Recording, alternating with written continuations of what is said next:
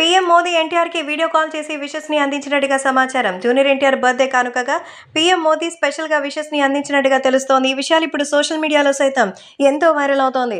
So PM Modi junior ఎన్టీఆర్కి video call ద్వారా శుభాకాంక్షలు అందించారట.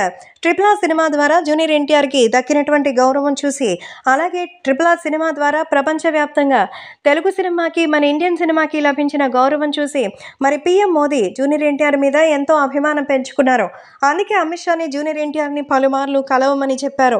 అయితే జూనియర్ ఎన్టీఆర్ ఈ సందర్భంగా సాధించిన భారీ విజయానికి అమిత్ షా కూడా ఎంతో ఆనందించిన సంగతి తెలిసిందే. ఈ సందర్భంగా యంగ్ టైగర్ ఎన్టీఆర్ బర్త్డే కోసం పీఎం మోదీ నేరుగా కాల్ చేసి మరి మాట్లాడారట.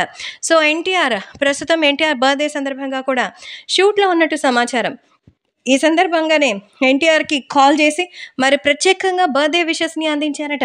జూనియర్ ఎన్టీఆర్కి పీఎం మోదీ వీడియో కాల్ చేసిన దృశ్యాలు ఇప్పుడు సోషల్ మీడియాలో సైతం ఎంతగానో వైరల్ అవుతోంది. అలాగే అభిమానులు కూడా ఎన్టీఆర్ క్రేజ్ చూసి మరి సూపర్ అంటూ ప్రధానమంత్రి నరేంద్ర మోదీ కాల్ చేసి ఎన్టీఆర్కి విష్ చేయడం అంతకు మించి ఇంకేం కావాలి అంటున్నారు.